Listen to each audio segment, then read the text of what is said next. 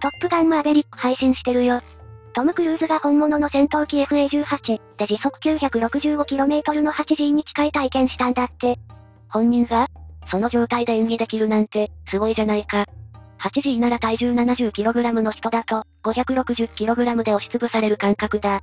脳から血流が押し出されて気を失うから、体 G スーツで足を締め付けて防ぐんだよ。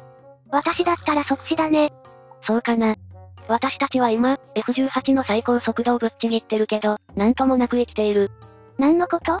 全人類は地球に乗って、戦闘機の丸々倍の速さで移動してるんだよ。な、なんだって？もう気を失いそう。聞き終わってからにしてくれ。まずは太陽系が誕生から、1万光年も移動していたという研究を紹介しよう。1万光年 ?1 光年ってキロメートルで言うと、どのくらいだっけ？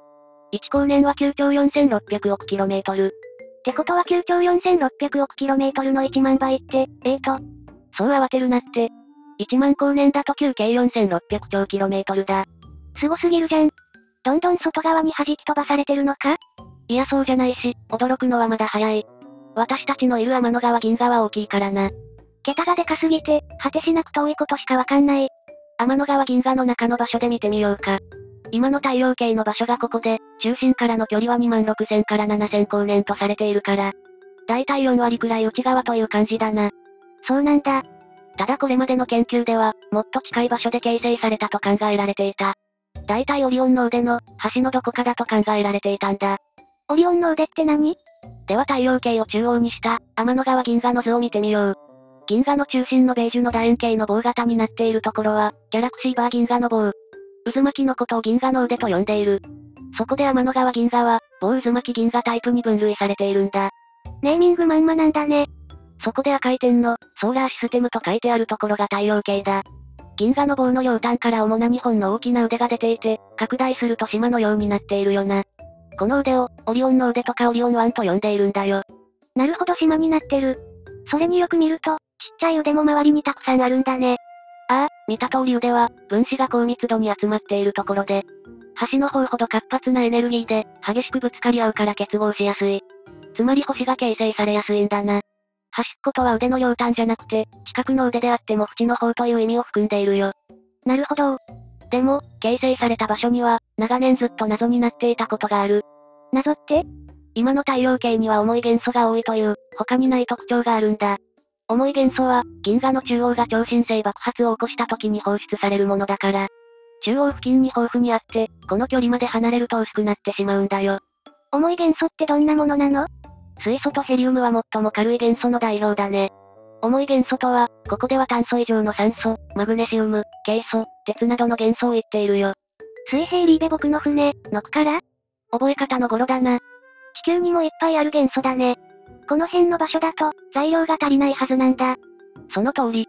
そこで今回の研究の画期的なモデルでは、形成の段階を踏んでいて、シミュレーションもうまくいったんだよ。へえ、どこが研究したものなの？鹿児島大学天の川研究センターと、神戸大学、国立天文台との共同研究で、銀河系の中の元素量と、循環過程が調べられていた。まずは銀河の内側では大型の惑星が形成されやすく、外側では水を豊富に含む惑星が形成されやすい。だから重い元素が十分にある場所で形成されて、外側に行くにつれ成長したと考えられたんだ。ほうほう。このように120億年前、銀河の付近、1.3万光年のあたりで重い元素が豊富になって、90億年前には中央付近の2万光年のところまで広がってきている。46億年前に1.3から2万光年あたりで太陽系が誕生して、そこから現在の1、2.7万光年のところに大移動すると、なんと、今の太陽系になれるんだよ。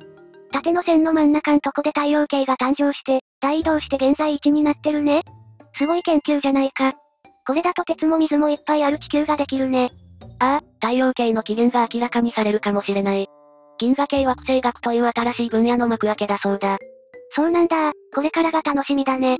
でも天の川銀河の中を移動しながら、太陽を中心に回って安定していられるってのも不思議な感じだな。いや太陽は太陽系の中心ではないし、そんなに安定もしていない。なんで？だって太陽系は太陽の周りをきちんと1年で回ってるじゃん。知らないはずないよね実は太陽は2つの軌道を、複雑な運動で公転しているよ。2つの軌道？何それ？では順番に説明していこうか。それに移動速度の話もだな。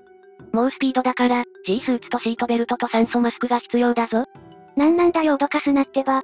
確かに地球は太陽の周りを回っている、太陽系の惑星たちもね。でも太陽系の中心は、太陽ではない。何言ってるんだよ太陽だって、太陽系の中心を公転しているんだ。でも太陽の周りを回ってるのに中心じゃないって、意味わかんないけど。それに太陽の質量がバカでかいから、重力で太陽系惑星が支配されてるんじゃないの？その通りだよ。太陽の質量って地球の何倍だっけ ?33 万倍だ。33万倍？何せ太陽系全体の質量のうち、99.9%が太陽なんだからね。ほぼ全部じゃん。他の全部合わせても、0.1%の質量にしかならないの？やっぱ太陽すごすぎる。さすがの構成だな。だからあんなにバカでかい木星だって、太陽に従ってるんだよね。ああ、木星の大きさは地球の11倍、体積は1320倍、質量は318倍。それでも太陽系惑星の一つだ。太陽は圧倒的な重力で、太陽系を支配しているわけなんだけど、太陽系の中心とは正確に言うと、共通重心点なんだよ。共通重心点？太陽系全体の、重力の中心点なんだ。じゃあその全体の中心点はどこにあるっていうの？共通重心点を回る太陽の様子を、元 NASA で現在 JAXA の惑星科学者、ジェームズ・オドノヒュー氏が作ってくれたから見てみよう。うんうん。これで一目瞭然だ。ああ、この大きい白いのが太陽なんだね。そういうこと。本当の中心になっている緑の点が、太陽系の全ての重心点なんだよ。太陽も公転しているのが、すごくよくわかるだろ？わかったこれめっちゃありがたい動画じゃないか。感謝だね。共通重心点とのズレは太陽の半径ほどの距離なんだ。だから私たちには、ほぼ太陽が中心と変わりないんだけどね。そっか小さく重心点を公転してるってことだったんだ。でも、太陽ちゃんと回ってないよ。中心点に寄ったり離れたり、軌道がぐちゃぐちゃになってるじゃん。そうなんだよ。太陽の公転軌道は、大きい惑星の木星や土星、天王星や海王星の重力に、いろんな方向から引っ張られて、影響されているんだ。そのために、すごく複雑な公転軌道になってるね。そうなんだ。キングでもやっぱり、大きい惑星に引っ張られちゃうんだね。じゃあ気になってきたんだけど、地球の惑星の月はどうなの？今まで地球を中心にして、回ってると思ってたんだけど、地球と月の質量の差って、どれくらいだっけ？地球の質量は月の81倍だ。太陽は地球の33万倍だったよね？ってことは地球は月の影響、もっと受けちゃうじゃん。もちろんだよ。月と地球の距離は、近い時で約35万 km、遠い時で約40万 km。何も変わらないわけがない。何に影響してるのかな？公転周期や自転速度、軌道傾斜角にも影響して変化させているんだよ。ええそうなんだ。存在している限り、影響し合っているんだね。じゃあ2番目の公転に行く前に、地球のことから順に確認していこうか。地球の何を確認するの？地球の動きのスピードだよ。今私たちが体験している猛スピードの世界だ。体験してるって？猛スピードを？そうだよ。大体基本的に地球は動いてることを忘れてもらっちゃ困るね。そういえば地球は自転してるけど、これってスピードどれくらいなのか、考えたことないな。地球の自転速度は秒速460メートル、遠心力が加わるから最大の赤道部では時速 1670km。日本の井戸でも時速約 1500km なんだから。私たちはとっくに、トップガンもマッハもぶっちぎっている。ええー、じゃあ目が回るどころじゃないよ。でもどれくらいなのか、速さの基準と比べてみたいね。戦闘機が目指した音速のマッハ1が秒速約340メートル、自転速度は460メートル。マッハ1の1.35倍以上だ。なるほどそれじゃあ、確かにぶっちぎってるわ。だろ？それでも驚くのはまだ早い。地球は自転だけじゃなくて移動もしてるよね。わかった地球の公転だ。その通り。では地球の公転速度だ。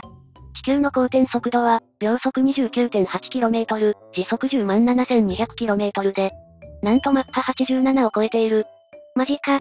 桁違いすぎる。地球の重力を振り切る、宇宙ロケットの発射スピードは、秒速 11.2km、時速4万 km の、マッハ30以上とされてるんだけど。ち、地球はマッハ87だと3倍近いの？全く比べ物にならないよね。もしかして私たち、そんなのに乗っかってるってこと？こわよく来てられるよね何言ってるんだよ、生まれてからずっと乗っかってるじゃないか。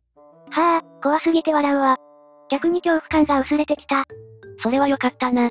地球は想像以上の猛スピードで走ってるんだね。でも太陽系でいられてよかった気がする。離れていったら大変だよ。ではいよいよ太陽の公転、その2を見ていこう。うんうん。太陽と一緒に、地球も音もしてるはず。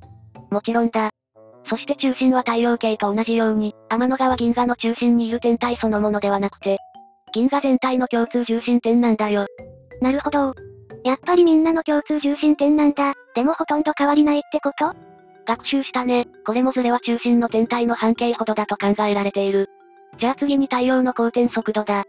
太陽が天の川銀河を公転する速度は、秒速約 230km、時速約82.8万 km。マッハにすると約672だ。いやー、そんなはずないって。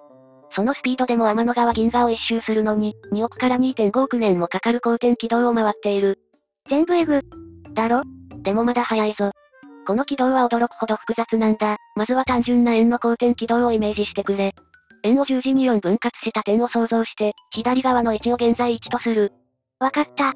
現在位置では、公転軌道を上下にぐるっと回転しているんだ。鉄棒の前回りみたいな感じかな？そうだね。今は頭が上向き方向に上がっていってるところと思っていい。次は軌道の下に下がっていきながら巻きつくように回転するわけだけど、逆さまになるわけじゃなくて、上は上のままだよ。太陽系惑星の公転軌道図が、水平を保ったまま、離れたコイルのように巻き込みながら進む感じだ。なるほど。そして十字の反対側の地点でも、同じように回転運動になっている。向こう側にある地点は、1億4000万年前と1億4000万年後のところだ。ふむふむ。次に円の現在位置から見て左右になる地点では、軌道を上下に波打っている。右側が7000万年前と2億1000万年後、左側は7000万年後と2億1000万年前の運動で、左側は7000万年前と2億1000万年後の地点だ。ちょっと待って、むずすぎんだよ。そうだな、図を見てくれ。ほほう。公転する軌道を回転したり波打ったりしながら進むんだね。簡単に言うと、めちゃくちゃ複雑な動きってことだよ。それで OK だ。でも一番びっくりしたのはこの公転軌道だね。いろんなものに引っ張られて影響を受けてるんだろうな。では太陽系惑星のそれぞれの進み方はどうなると思う？えーと太陽の周りを水平に太陽系惑星が回っているけど、惑星の位置がバラバラだよね。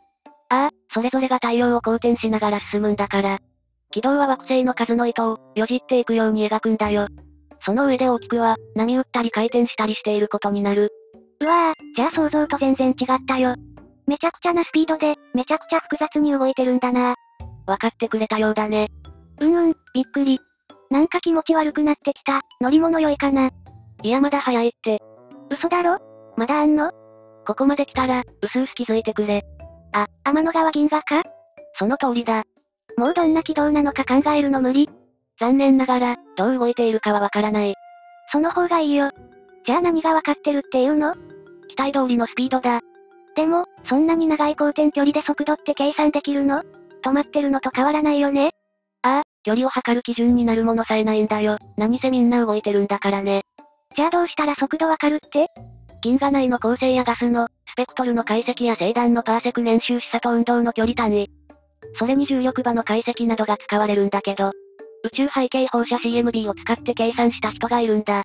宇宙背景放射って何？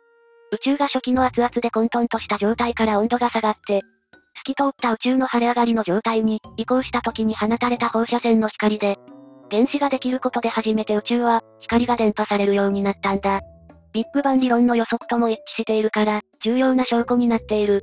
ってことは宇宙で観測できる、一番古い光ってこと？その通り。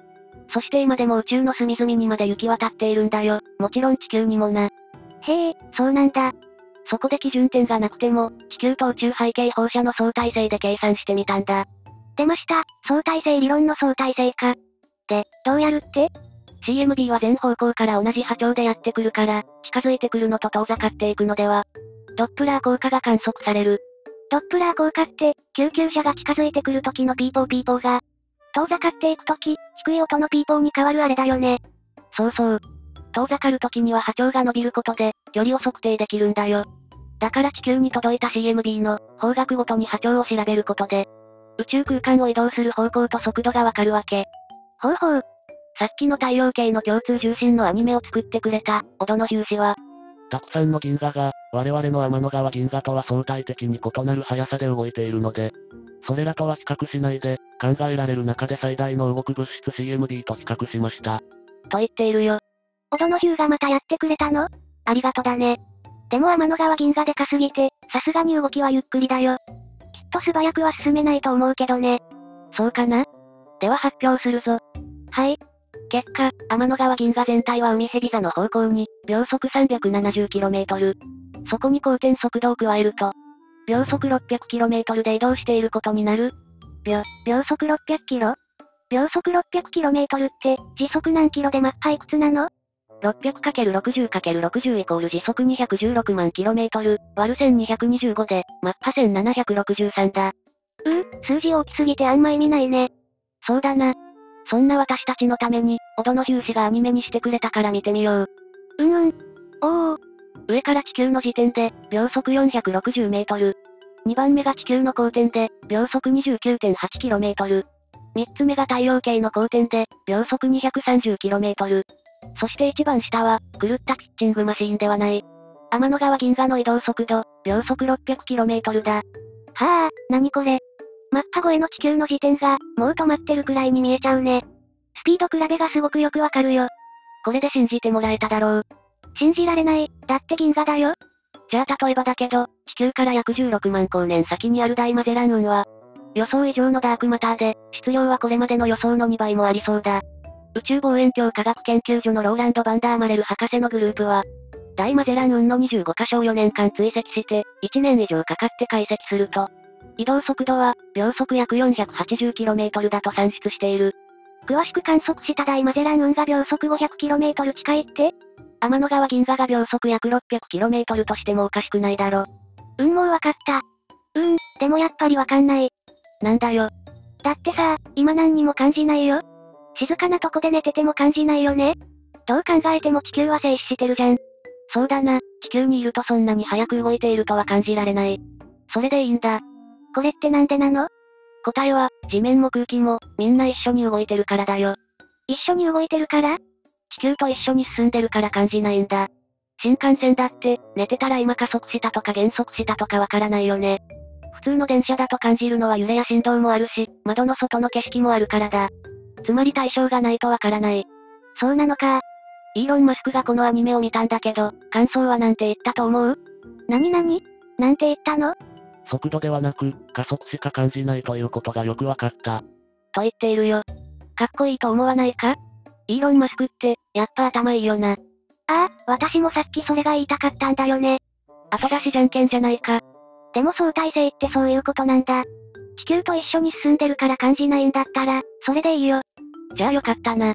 でも、地球の時点がマッハ超えてるスピードで回ってても、月曜から金曜までがこんなに長く感じるんだから、ほんとそれで良くなってきた。宇宙の秩序を受け入れるよ。ああ、宇宙は全くすごいよ。そして残念なことに地球の生命は、天の川銀河の軌道のせいで、周期的に大量絶滅させられているかもしれない。むむ？今なんて言った？ではニューヨーク大学の、マイケル・ランピーの教授チームの研究を紹介しよう。地球の生命が周期的に大量絶滅するのは、天の川銀河のせいだと言うんだよ。はぁ、それどういうこと？まずは陸上生物の大量絶滅の記録を、統計的な手法などを使って詳しく分析すると、過去3億年の間に、約2750万年の周期で10回も起こっているんだ。10回も？それに聞いたことない短い周期だよね。そうだな、生物の種は、想像以上に入れ替わってるってことだね。10回は陸上生物の大量絶滅で、そのうち8回は海洋生物も同時に大量絶滅を起こしている。海洋生物とは、サンゴ礁まで絶滅するレベルなんだ。そこでこの約3000万年周期というのは、太陽系が天の川銀河の公転軌道で、ディスクを通過する周期と同じなんだよ。ほうほう。銀河のディスクには恒星やダークマター、チリアガスが高密度になっている。強力なのはダークマターの存在だ。太陽系の海王星の外側には、カイパーベルトという、天体にはなれなかった小惑星が集まっているゾーンがあって、小惑星とは丸くなれなかった、こんな岩のことを言う。うわ小惑星って、まるっきり岩なんだね。さらにその外側には、カイパーベルトよりもっと広い範囲でオールトの雲という、氷の微惑星たちの居場所が広がっているんだよ。微惑星とは小惑星より小さい氷の塊だ。オールトの雲ってめちゃくちゃ大きい範囲だね。ここから太陽の方へ移動してきたものが流れ星の彗星で、彗星が地球に衝突したものが、隕石と呼ばれているね。へえ、隕石ってすごく遠くから飛んでくるんだ。それにめちゃくちゃ大量の彗星があるじゃない。確か恐竜が絶滅したのは、大量の隕石がシャワーみたいに降ってきて、空が曇って日光が届かなくなったせいで、寒くなったからだよね？ああ、有力な説だね。天の川銀河の中で太陽系は、このように集団になって動いている。ディスクの真ん中あたりを通過するとき、巨大なディスクの影響が水星の軌道を乱れさせて、大規模な水星移動を引き起こしてもおかしくないだろう。ふむふむ。また、太陽絶滅の原因には、巨大な火山の噴火がある。地球全体に影響を及ぼすような大規模な噴火なんだけど、地球の内部に溜まったダークエネルギーがディスクの影響を受けて、活発になると考えられるんだ。結果、火山の噴火が促されてしまう。その上隕石の衝突や火山の噴火は大規模な火災を起こして、日光を遮ってしまうよ。なるほど、気温がすごく冷えちゃうね。天の川銀河の潮汐効果は以前から知られていたんだけど、大規模絶滅の原因になってるかもしれないとは驚くよ。潮汐効果って、月の重力が潮の満ち引きを起こすみたいなものだっけ？その通り。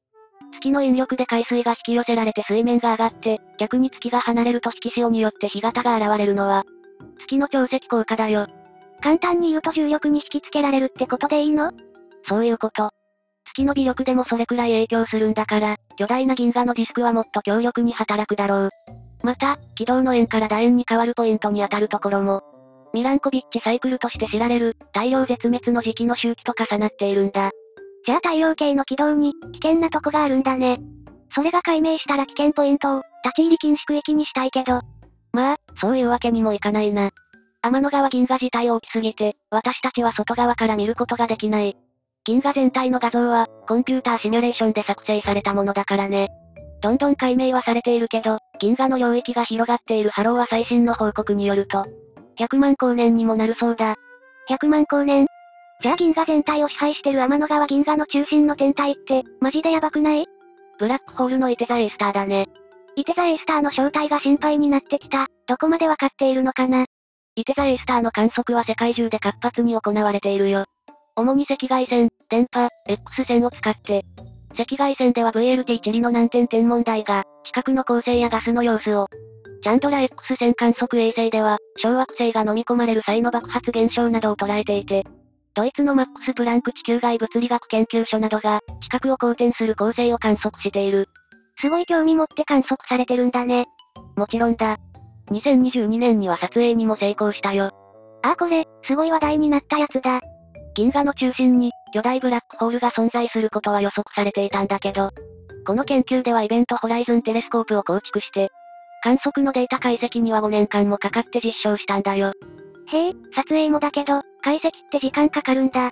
この研究グループには、日本の森山小太郎博士がいる。画像が公開できたことは、本当に感無量だとおっしゃっていたな。見せてもらえた私たちも感動だね。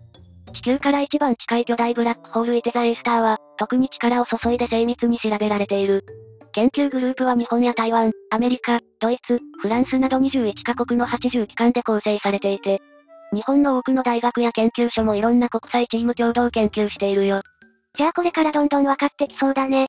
ああ、本当に楽しみで、待ち遠しいよ。それにしても何にも感じてないのに、すごいスピードで移動してて驚いたよ。想像できないほど複雑な進み方にも、びっくりしたね。構成が公転と固有運動を合わせて螺旋運動していることは、広く知られてきているんだ。宇宙マニアじゃないと知らないって。太陽系の軌道図って面白いよ。学校でも詳しく習っときたくない？全く同感だよ。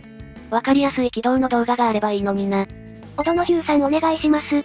宇宙の移動速度って、私にとっては高速と変わんない。いっそもう光の速度で移動してみたいかな。そりゃまた地獄だな。それより夏休みに、天の川が見えるとこに行かないか？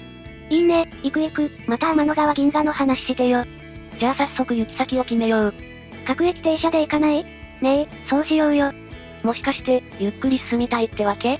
当たり。地上ではゆっくり進みたいね。